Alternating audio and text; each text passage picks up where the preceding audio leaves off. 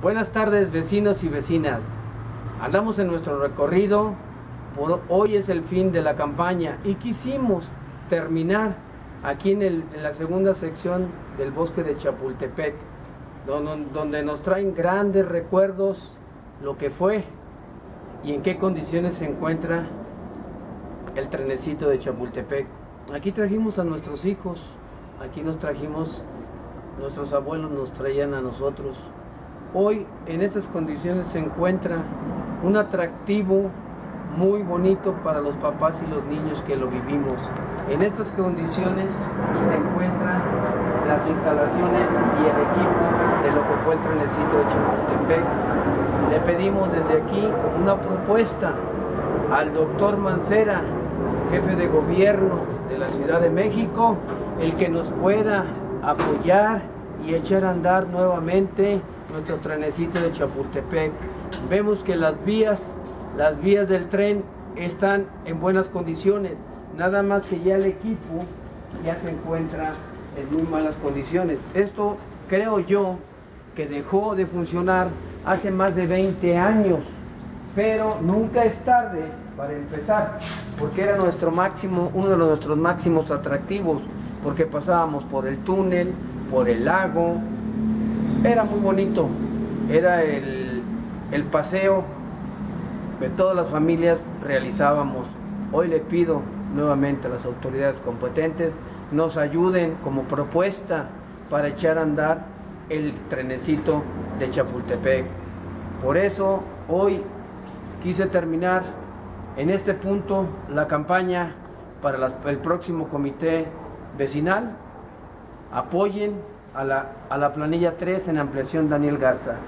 Este, este espacio es para toda la Ciudad de México, en especial las que vivimos enfrente de la segunda se- sección de Chapultepec, que es la colonia Ampliación Daniel Garza. Daniel Garza, Observatorio, 16 de septiembre, América.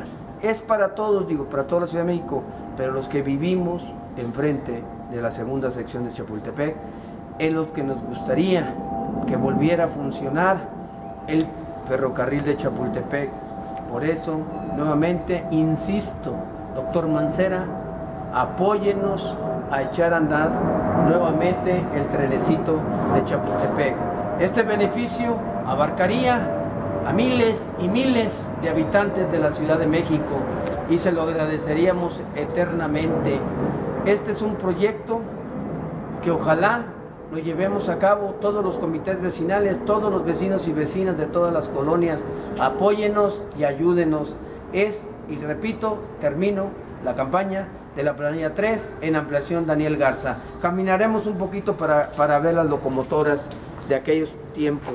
Ahorita estamos avanzando, estamos viendo cómo están las condiciones del equipo, pero no es imposible volverlo a echar. Es un beneficio, les digo, para toda la Ciudad de México, pero en especial para los que, a los que vivimos acá al poniente de la delegación Miguel Hidalgo. Estamos viendo las locomotoras de aquellos tiempos, podemos ver en qué condiciones se encuentran. Entonces, mediante un buen estudio de ingeniería, podríamos ver, podemos ver que todavía existen en buenas condiciones las vías del tranvía. Tenemos el equipo todavía en buenas condiciones, como pueden ver ustedes, que lo podemos volver a echar a andar. ¿Por qué no? Eso es lo que nos están pidiendo y les dio mucha alegría que yo les propuse a mis vecinos y vecinas que iba a terminar aquí en el trenecito de Chapultepec. Aquí traíamos a nuestros hijos y ahorita queremos que nuestros nietos vuelvan a vivir ese momento tan agradable de sus papás, de sus padres. Ayúdenos a realizar este gran proyecto y este gran sueño. Es de todas las colonias, todas las colonias que vivimos el poniente de la Ciudad de México, a la- del poniente de la delegación Miguel Hidalgo. Sí se puede, ¿por qué no? Es un proyecto difícil, pero no imposible. Son más de 20 años, calculo, que dejó de funcionar. Ayúdenos y entre todos un proyecto, proyecto ciudadano, donde todos opinemos, donde todos hagamos una asamblea vecinal, propongamos propuestas y lleguemos a una conclusión satisfactoria para todos. Doctor Mancera, en sus manos dejamos este proyecto. Muchas gracias.